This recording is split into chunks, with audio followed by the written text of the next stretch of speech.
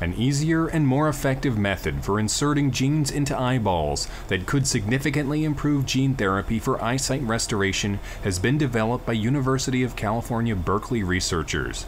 This new approach may aid patients with blinding inherited conditions, such as retinitis pigmentosa, to degenerative illnesses of aging, such as macular degeneration. Unlike standard treatments, this new procedure, which takes as little as 15 minutes, is surgically non invasive and can deliver normal functioning genes to difficult to access cells found throughout the entire retina. During the prior six years, several groups have successfully delivered treatment to individuals with a rare inherited eye disease by injecting a virus with a normal gene directly into the retina of an eye with a faulty gene. Despite the invasive delivery method, the virus with the normal gene was not capable of reaching all the retinal cells that were in need of repair.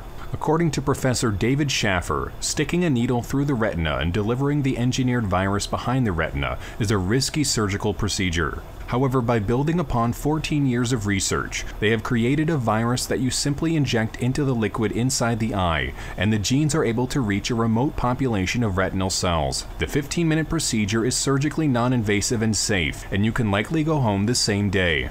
The engineered virus approach is far more effective than standard therapies in rodent models of two human degenerative eye diseases. It is capable of penetrating photoreceptor cells in the eyes of monkeys, which are similar in structure to those of humans.